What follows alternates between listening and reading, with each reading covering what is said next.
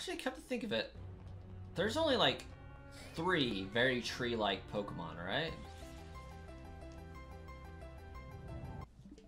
I think the best one would be a grass electric type, but it's Trevenant instead.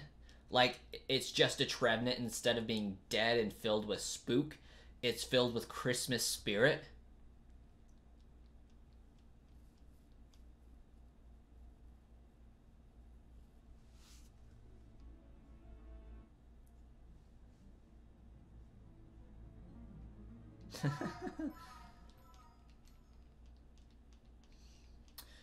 it was a dark and st- actually it was just a really really boring day and it died in the battle against a very unlucky approach towards ash facing Arceus.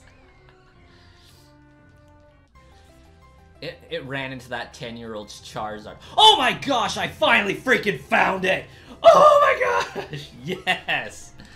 Ah yes ah oh my gosh Quick reset. uh, guys, I have been doing this since December 3rd.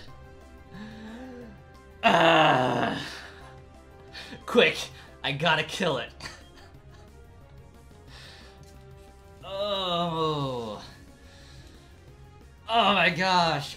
I am so happy. I can move on with my life. This is a great morning for a morning stream. Quick, run.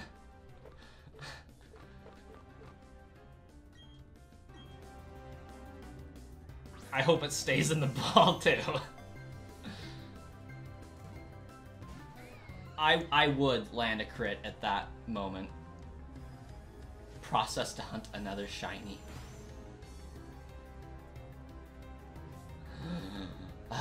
yeah, pr process to hunt another shiny would be right. Okay, quick ball I don't think is going to work anymore, but that's okay. I got like five Pokemon to run through and I don't know, I just really don't want to use a Master Ball if I don't have to. As soon as it struggles once, that's when it's time to utilize that, but I would really like to catch it in a quick ball if I could.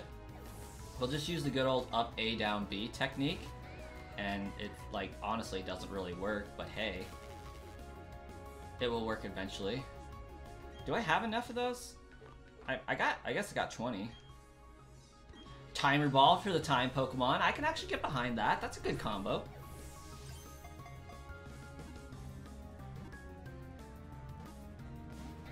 Okay, I seriously thought that was going to catch it for a second. I was like, oh my gosh, that's fortuitous.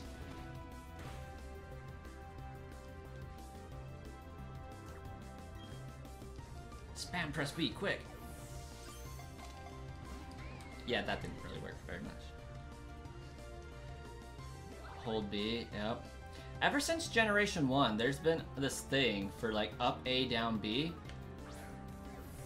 And timing it right, I really feel like if I was a developer for Pokemon, I would make that actually increase the chances somehow. I would figure out a way to program that to do that.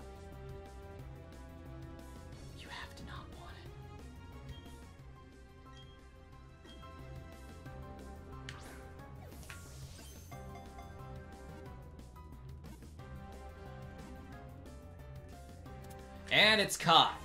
The journey is complete, and it couldn't have happened any sooner because I was planning on ending this stream at 11 o'clock to go and take care of some business, like getting Kirby, um, before doing some other business and coming back to stream at like 4 p.m. Mountain Standard Time, so in like five hours.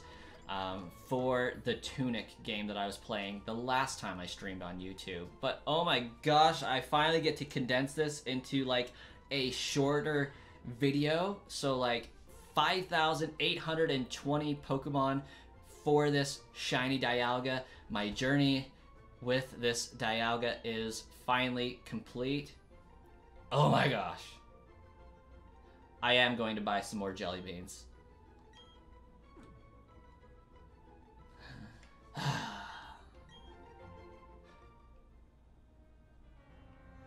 Pokemon catch for me.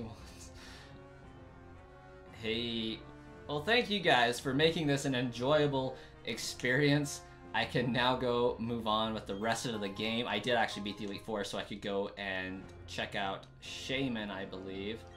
Um, but I didn't end up catching it. I just wanted to make sure I got the item and all that.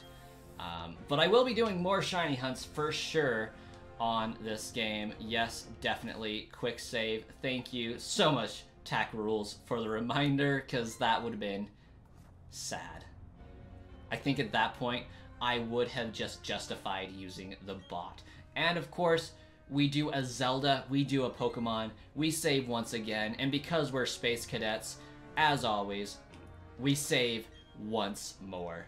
Always triple save whenever you do something awesome. Thank you guys so much for watching with me, for going on this epic adventure for catching Shiny Dialga. I have some stream stuff to adjust at the end, so we'll uh, make those adjustments before the next Shiny Hunt and have Dialga down there in the bottom somewhere, representing the ordeal of 5,820 encounters. I do also have somewhere a Palkia shiny hunt set up to do, so there's going to be a lot of room for shiny hunting here in the near future. I'll catch you guys in a later stream.